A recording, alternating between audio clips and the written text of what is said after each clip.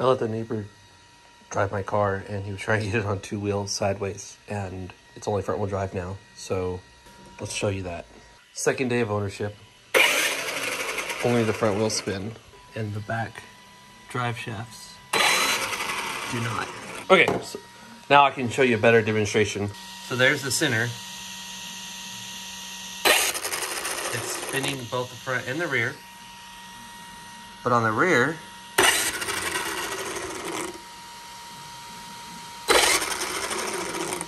that piece has disconnected.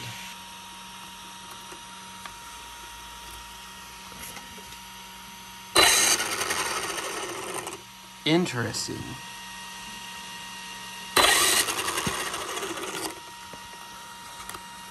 So, okay, okay. If I manually spin this, this is the rear. The front wheels do spin. Hard to get it to turn. But there you go. So you can see the center is, oh, it's hard to turn it with my, just my fingers. But it is turning. So, hmm, what in the world is the issue here? Okay, so now it's connected and I can turn it and it's spinning the front wheels, but not the back wheels. Okay. So it's something with that diff in the rear. Interesting. Hmm. Okay. Well, that's all good. Poor kid felt bad, but it's not his fault. I mean, I'll, I'll let him drive it, and I'm definitely not at all upset because I need to learn this platform anyway. So I'll be figuring out what I need to do to fix it. Okay, so Traxxas Sledge. Neighbor borrowed it. I let him play with it. He was trying to get it on two wheels and it failed. So we thought it was just a screw. Uh, it holds this in, right? Because when you spin the front wheels, that spins. The back wheel does not spin. Now, interestingly enough, you spin the wheels and it's you can't see it in my video right now, but you can see that where the bearing, why was that so hard to think of? Where the bearing is. So if I push this back, this thing is loose. I'm pushing it back now. Okay, it's still not doing it, but it did earlier. All right, let's wrench on it, I guess. I mean, what choice do I have?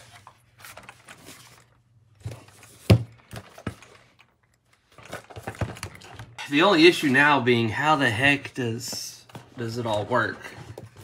So this probably has to come off. I, I would love to know why I can turn the front and back wheels by spinning this drive cup. But when I spin the wheels, because the front wheels, I can, it makes this whole thing spin but the back. Uh, and there's just no room, so I've got to figure out how to separate the back from the front. Like, I'm assuming I've got to take this bottom thing off here to get this bulkhead out, maybe. this is so ghetto. All right, let's see if it'll just come out on its own without taking the whole thing apart. I'm assuming this isn't going to work because uh, I'm going to have to take the back in and separate it to fix the the fact that it's not screwed in. So this is the bottom. Come on. Okay. Long ones are the bottom. Please be the same. Top ones are the same. Okay. Top screws are the same. Freaking already taking this thing apart on the day after I got it. Is this the same? Eh, even those look the same. Okay. All six of these screws look to be the same. All right. Let's see if this will come out without... No, it's what I thought. So unless I'm just not pulling hard enough. Let's see, I need a flathead. I guarantee you I gotta take the bottom skid plate. Okay. It's all tied into the bottom skid plate. This desk, man. Need to rearrange stuff. Okay, so taking off the bottom. Screw. Uh-oh. Uh-oh. Gosh dang it. And of course that one's too small because it's not the right one. Should really buy screws. Hope you got some screws, Nick, because these screws. Oh, nope. Oh, wait. Do you got some of these screws, Nick? Gonna need some of those. All right, that one's long. This middle one here is long. All right, now there's the two here. Imagine these would be different. Oh, those are very long. They just keep going, just keep going. And they're different from that middle one right here. So this one's, oh, it's, yeah, it's, it's skinnier and it's um, a little bit shorter, but it's quite long. So Okay. Get this screw. Oh yeah, I can feel it. There we go. Interesting. Oh, look at that. Little surprise. It says rear. Oh, and it comes apart.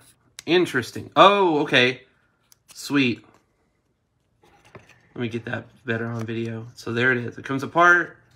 It goes in and it says rear. I'm going to put these two screws right here and boom. So now we can remove oh, Uncharted here. Oh, there we go. Okay, so this goes like that. It's got a D on it. It's going to be upside down when the truck's upside down. It goes in like that. All right, now, no? Oh, maybe I got to separate the arms. That's very interesting. So there's the drive shaft.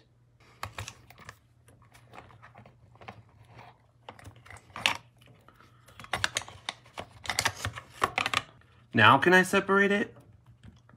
Oh, look at that. It's coming out. Why are you being a booger? Aha! There we go. Look at that. Oh. Is it real? Okay. Okay, so there's the center drive shaft. Feels, or sorry, rear. It feels fine. Like, I don't notice anything odd. I gotta remember it goes in like this. It goes with the teeth. Everything's fine. That is super greasy. That's awesome. Okay, so now let's take a look at this. Does that come out? I need some pliers. Ah, it's hard to get a hold of it. Okay, so I got... Aha! So it's just a pin. And the bear... This is what I was seeing spin. Okay. This might be an easy fix. Because this is, this is what... When I saw it inside the bearing and I saw something spinning, this was it. And it's fine. It just doesn't have the little, it doesn't have the little pin. The concern now being, how do I get that thing? so there, here you go. Look at this. What the heck? There's that. So it connects here with a pin. Oh, that's what that's what was happening.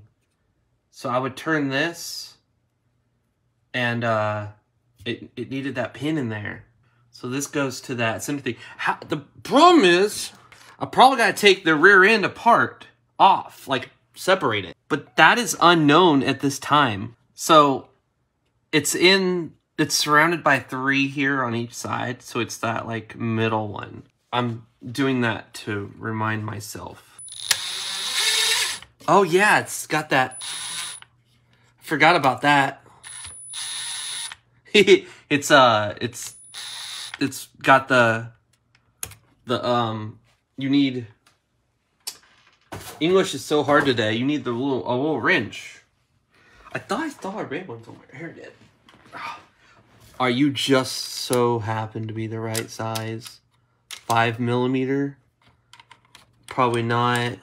Nope, it's bigger than five millimeter. this is what I had on the ground. So, all right, well, interesting. No idea how this separates because to get this all like in there and a pin on it and everything, I need this separated. So how does it separate? Oh. Could it be that simple? No, probably not. Because there's two screws here. One, two. How? Hmm. It's probably all these screws. Here's the thing. I don't want to just start taking every screw off of here. Because, like, I can see that this screw has something to do with all this. This screw has something to do with this bottom bar. But maybe not these.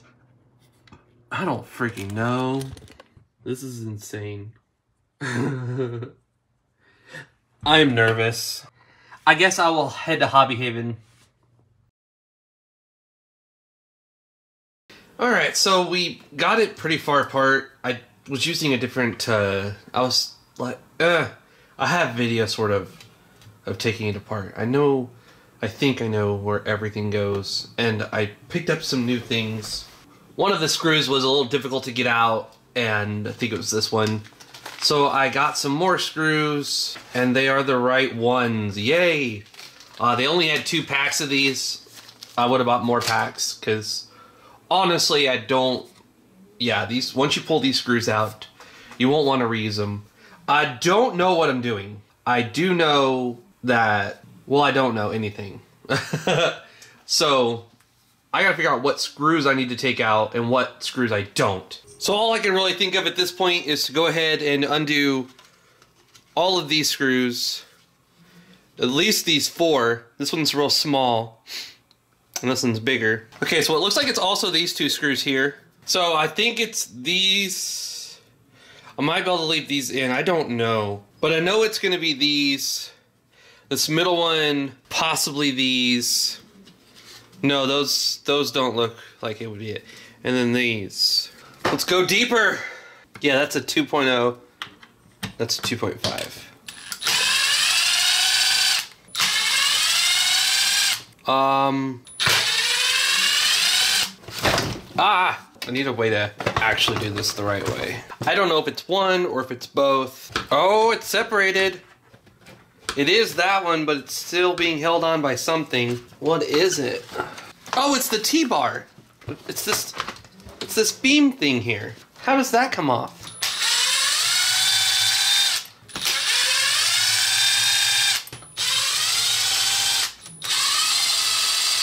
All right. We've made some progress. Don't think it has anything to do with those two screws, because it... Oh, How does this beam come off? Okay, I probably don't. Maybe I don't have to go any further. Alright, so the issue was with this guy. Now we'll put a screw in that. Part number 9587 comes with two screws, this boot, and drive cups. So we're gonna go ahead and use the new boot. Oh, how would you use a new boot? Huh. I truly don't know how this would work. Okay, well we're not using a new boot then. Because I don't know how that would fit in there. Something would have to come off. The question is to use the new drive cup or not. Well, let's say no. So this is pretty common sense. This this would be the side that it like ends at, and this is where it begins at. So we'll match the smaller hole with the smaller hole, and we'll put that in there. And then we'll just screw this in. Okay, that's such a weird, weird thing. Don't, what? So, oh, I'm doing something wrong. We need this guy involved. now the question is, can I do it like that? No, I will not. I will have to put this in so it sticks out. You can see it right there. I may have just wasted a whole bunch of time trying to get the chassis apart. Safe to say I wouldn't call this a guide. It's just your average Joe who has a broken RC car and refuses to accept that it's broken. Okay, having some... There we go. Okay, so it did help having some leverage. Now it's a matter of getting this... Oh, you are being a pain. I need you to go back. This is why how-to videos on repairing RC cars is... What the frick? All right, let's let's figure this out. All right, so let's do it. Let's do it a different way. Why won't the boot go back? This is so frustrating. If I could figure out how to get this back off, this would all be resolved. It's this beam.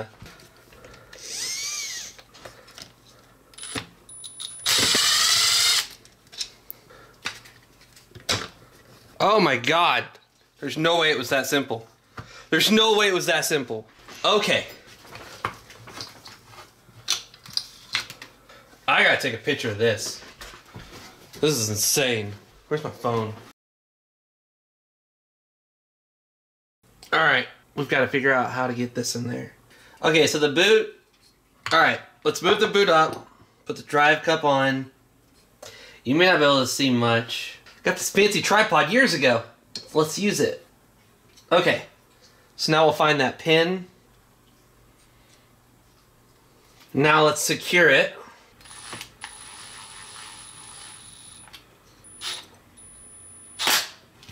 Okay. Sweet! Yay! Now it's the process of getting it back together.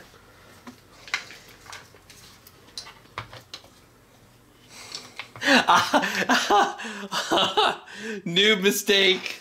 So I'm sitting here spinning this like, why won't the wheel spin? Try. Rear differential's not connected. Ah, uh, I thought I was like, what did I do? Come on. I got it in. All right, it is connected. I'm gonna secure the drive shaft or the T-bar, whatever. Woo! Lord, let me remember where all this stuff goes. 24 hours late. I'm gonna post this another day. But today is April 1st. I got this thing yesterday morning. So it's been 24 hours. Okay, I gotta have that go in more. Ah, Okay, so it's threaded.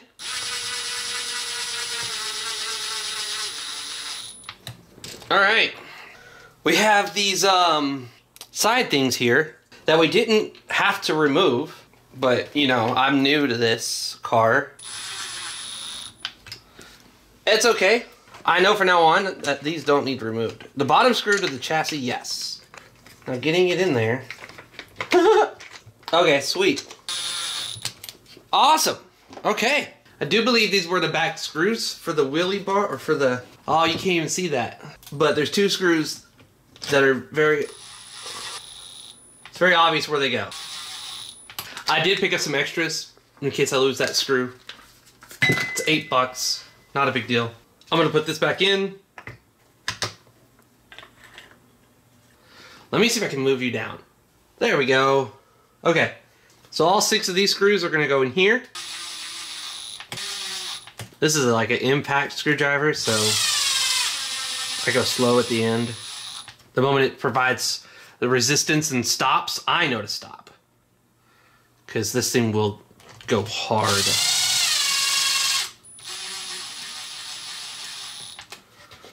Yeah. I'm not even like turning, I'm not even letting off the button, I'm just letting it do it. All right.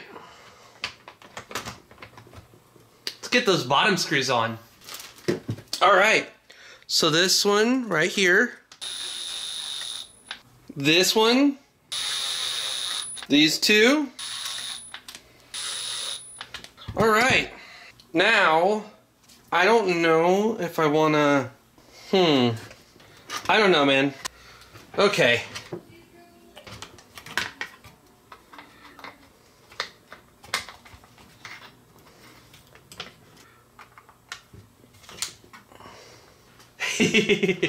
this is this is I ain't gonna lie, I'm actually enjoying this.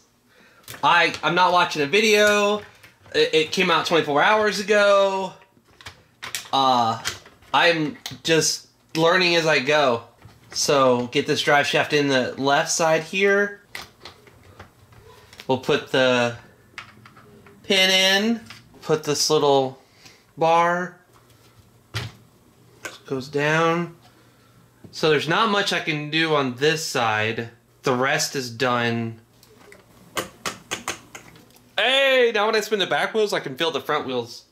I totally should have picked up some skid plates. Wow, you can't see much. There we go. I should have picked up some skid plates. It's okay. That goes in. Holy shoot.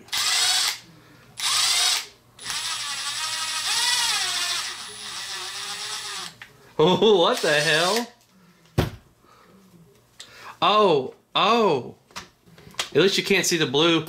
It's not blue anymore. Rubbed all the blue off. What the frickin' frick? What?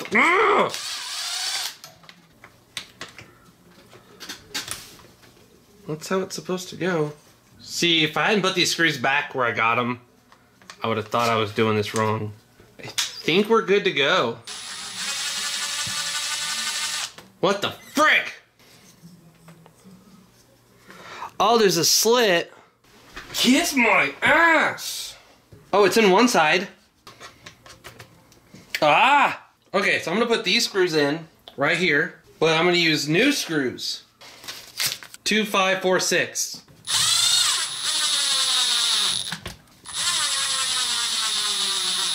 All right, so now this piece goes in there. All right, now that long one here, which I need to buy more of those.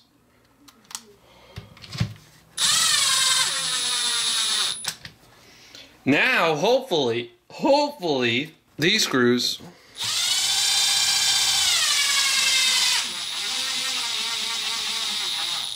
All right, sweet. See, look at those screws for the front. I'm gonna keep a buttload of these. Here's the old ones. Find one that's not tore to hell. Uh, probably that one. You know what? Yeah, let's do that one.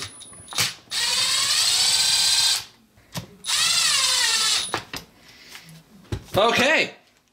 So now let me zoom out. If all went well, when I spin these front tires, the back should spin as well. Ha ha ha. All of that because a pin that goes through here, goes through here, and also the, you know, the um, input that goes through here. All, the, the, the screw fell out. The screw fell out. Sweet. All right, turn the remote on. Connect battery. Turn the truck on. And now, success. That right there was the culprit. And now we're good. Give the video a thumbs up, please. Really, truly, I mean, if, if you are stuck like I was, know that you need to remove one screw here, then that slides out. There's no screw here to remove. You don't have to remove these two. And uh, on the bottom, you don't remove this one here. I, I didn't out of, okay, well, I see these two are side by side, so that probably has something to do with the transmission. These four, maybe, probably. So I just removed this one, and, and I was correct. That removes the center long thing and then this one, and then these two. Oh, you don't have to remove these. Yeah, so that's awesome. You've got basically two, three, four screws for the chassis. These five screws. Four of these were all the same. One of them's long.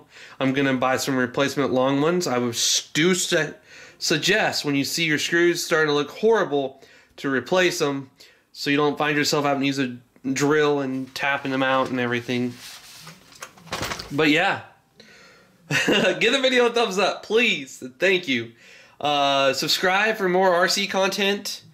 This is Josh Does RC, and I'm out.